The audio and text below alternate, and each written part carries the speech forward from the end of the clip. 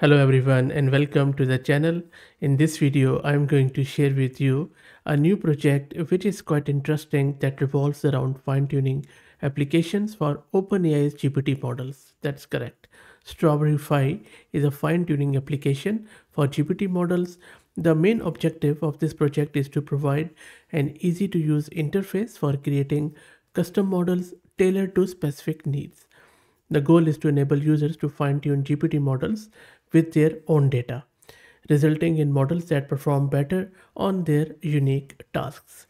There are a lot of other features around it. It is open source, it is ready for you to fine tune your own agentic O1 style models. And O1 is a model which has just been released by OpenAI. So if you want to fine tune the existing, let's say GPT-4o mini on your own data, in order to get the agentic and reflective features of O1 then you can get out of it. You know that everyone is talking about um, these GPT O1 models, especially around their reflection or chain of thought or reasoning capabilities and that is what this project is going to do. So Strawberry Phi uses reflective agentic based systems to enable models to self-correct and improve their reasoning.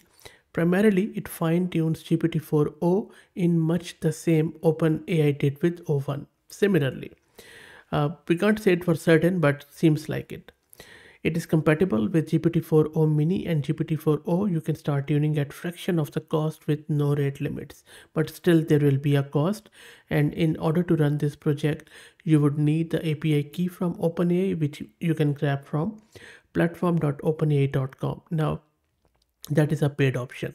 And as we are just talking about gpt model so there is no question of any local stuff here.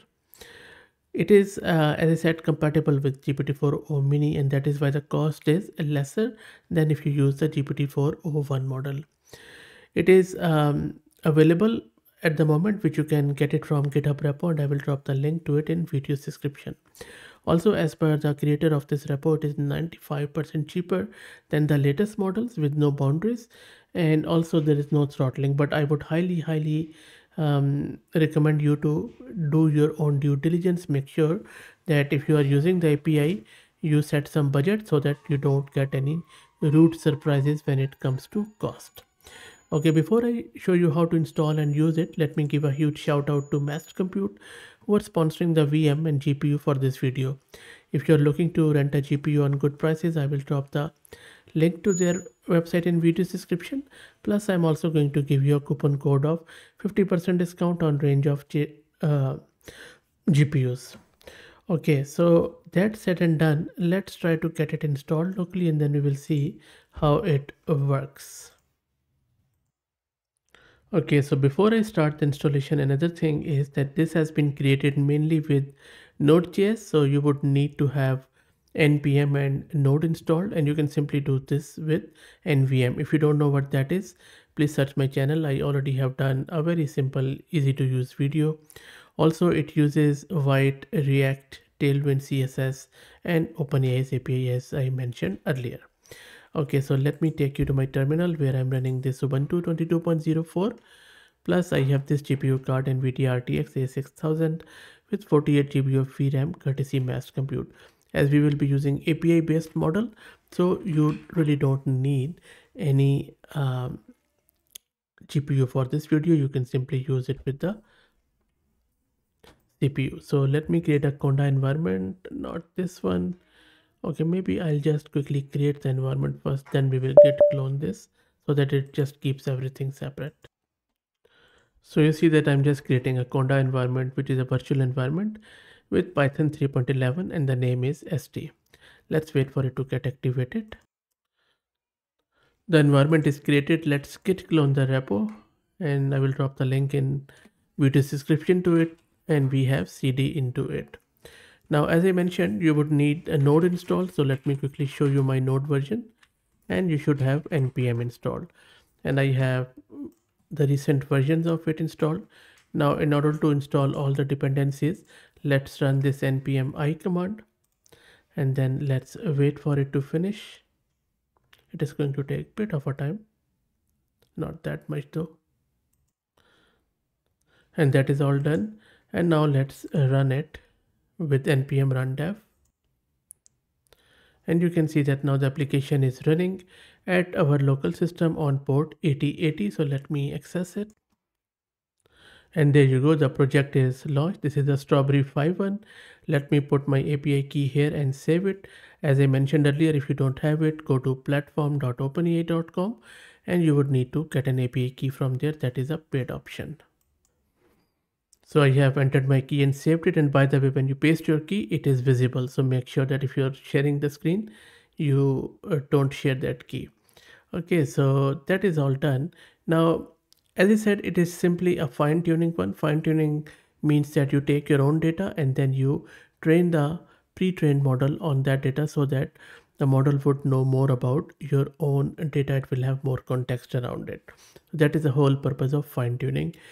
Now there are various techniques of fine tuning. I'm not going to go into the details of that fine tuning in this one. If you're interested, I have covered it in various videos. So please search the channel. In order to use it, all you need to do is to just click on new job. From new job, you can upload your own data file. It requires the data file into in a JSON L format, which is a JSON entries. And I will quickly show you. Let's click on upload file. It says that this is our uh, file here.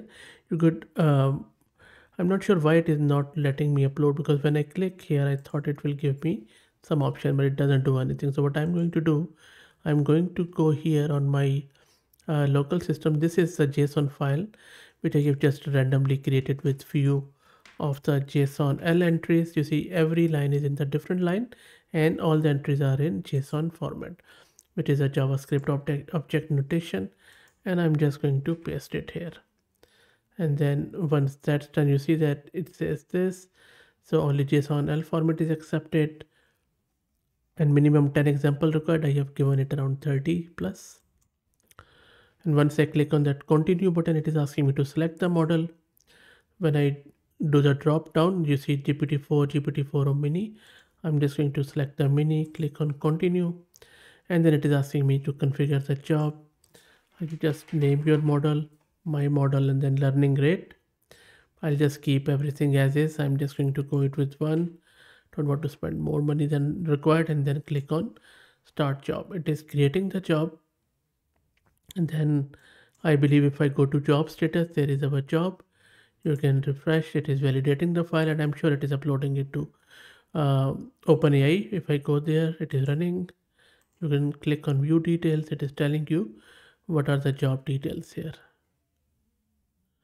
Okay I thought it is my key but no it's not a key. It is just simply okay. So you see it is it has given me some error. It says the job failed due to invalid training file unexpected file format.